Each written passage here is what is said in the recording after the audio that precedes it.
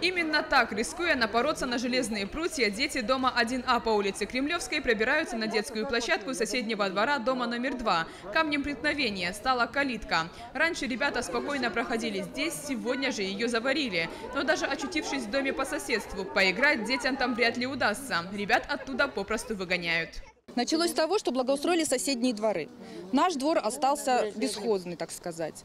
Соседи до того дошло, что уже загородили нам проход, чтобы дети наши вообще туда не бегали и играли. Мотивируют тем, что это только для их детей сделали. Нашим детям туда дорога закрыта. Наши дети прыгают через вот эти вот э, забор через это. А если, не дай бог, кто напорится вот сюда?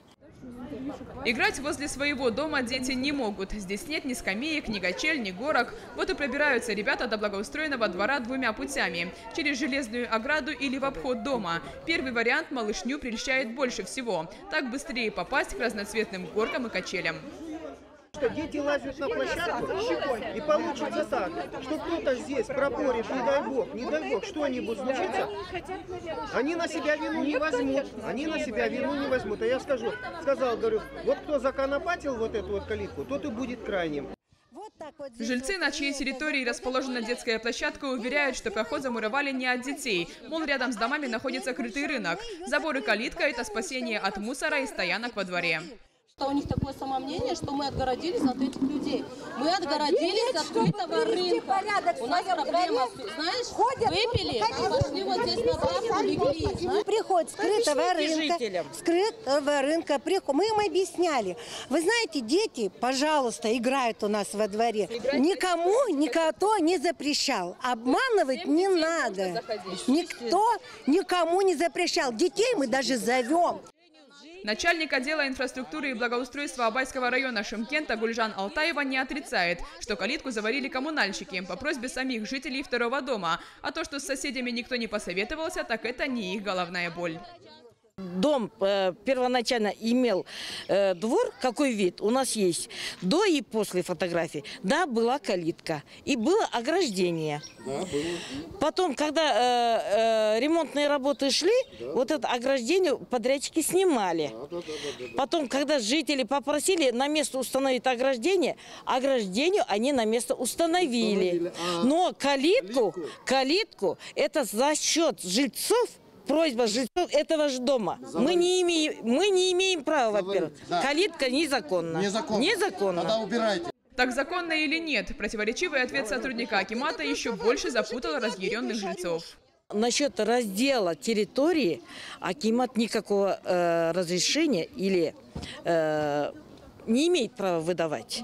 Это согласие жильцов, потому что сейчас в данный момент каждый дом находится как объект кондоминиум. Домком дома, оно э, как через э, юстицию должно зарегистрироваться как юридическое лицо.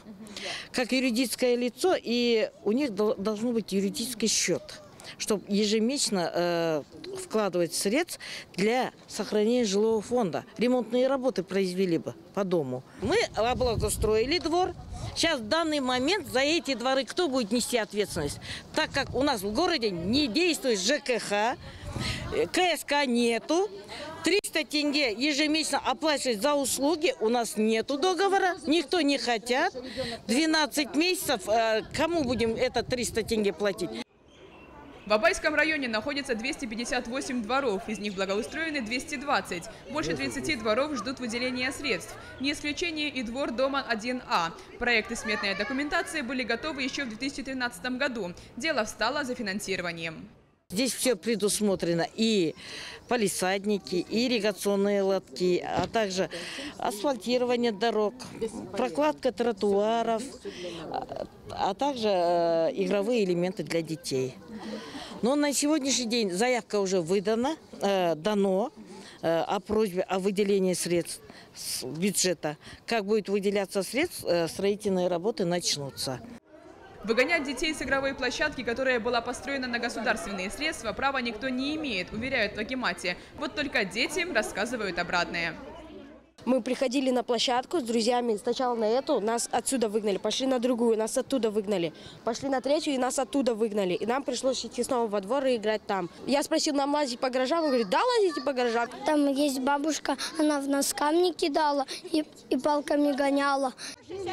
Подумаешь, травку нарвали. Ну, господи, ну дети и палки таскают, и камни таскают. Ну, играют они.